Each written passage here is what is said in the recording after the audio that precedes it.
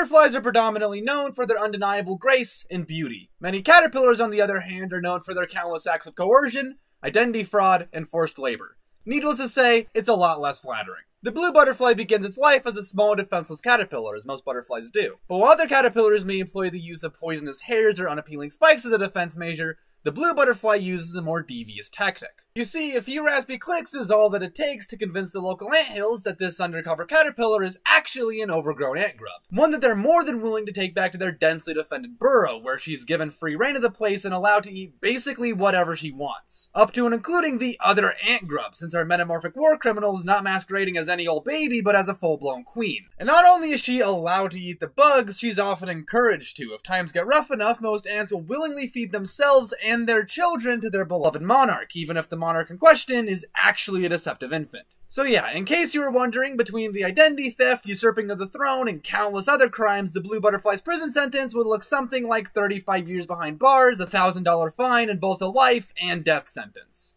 But while most caterpillars can get by without committing any crimes at all, mimicry is still a pretty common technique. The hawkmoth caterpillar, for example, is an adorable little fellow that looks exactly like, you guessed it, a snake. And I mean exactly like a snake. I mean, look at this thing. It's indistinguishable. I was so impressed, in fact, I wound up disappointing myself when I saw the full-grown moth. I was thinking of all the cool ways a moth's eye spots could evolve into some genuinely impressive camouflage, but no. It's just a regular moth. Clearly the world's not ready for my vision. But one bug that certainly did live up to my expectations was the land lobster, or if you prefer, the acid-spitting land lobster from hell. But if hell's a little out of the way, then don't worry. You can just go to Texas, or Florida for that matter, but that goes without saying. Anyway, the land lobster is a scuttling tank of an animal, with a thick exoskeleton, two pincers, and a long whip-like tail. Which has led to a common alias for this thing being the whip scorpion. But unlike most scorpions, they aren't venomous. Instead, they spit a fine mist of acid out from the tips of their tails and directly into the eyes of their adversaries. An acid so potent it's said to be nearly 16 times stronger than vinegar. So, if you're bigger than a spider, and I assume most of you are, then it's gonna sting, but you'll probably make it out alive. But regardless, this vinegar-based concoction has led to its other common alias, the vinegaroon. A lot of people have also mentioned how it kinda looks like a land-dwelling mantis shrimp, which of course has led to its other other alias, the grampus, which is itself an alias of the aforementioned mantis shrimp. Is that enough aliases for you guys? No? Good, because I got more. But moving on from one arachnid to another, let's talk about cannibalistic spiders. This particular group is actually pretty expansive, containing everything from vampire spiders to black widows to the ominously named common house spider.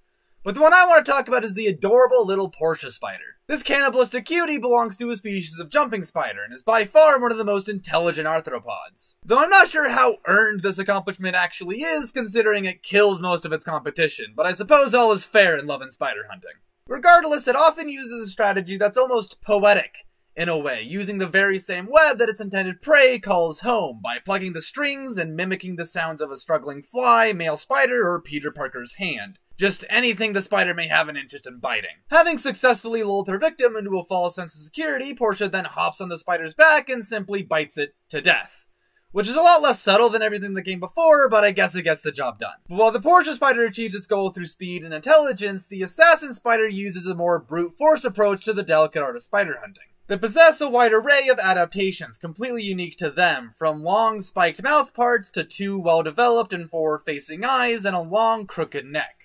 But while these bizarre adaptations may have made the spider assassin a master at assassinating spiders, the end result is something that looks nothing like a spider and certainly not an assassin, which has led to yet another alias, the pelican spider. Told you I had more. This video was made possible in large part through the help of my Discord server, who brought a whole host of cool and interesting bugs to my attention. Specifically OSHA, who told me about the land lobster, and Sir, who showed me the snake-headed caterpillar. Anyway, that's all I have for you guys today, but let's talk about last week's Florsh Finders. It was actually a pretty historic event, with 404 Air, an old series champion, unofficially coming out of retirement and finding every single Florsh before the Sneezy Afton guy even had a chance to look. But many of those Florshes were first found by Skittle660, a first-time player whose debut game shows some great potential alongside Max from my Discord server and Baby Shippy, who I believe was the only one to find this flourish on the Bulldozer's flag. Then we have Azuria, who I'm sure would have found a couple, but she was far too sleepy to even try. Big mood. Anyway, if you find any flourishes in this video, then let me know in the comments down below or on my Discord server. Link in the description. And until next time, don't die. Now, if you'll excuse me, I'm very sick and I'm tired of talking. See you later. They're gonna break into each. Yeah, they're gonna. Yeah, they're both gonna fall down. Oh, oh, or not. That's fine too. That's sad.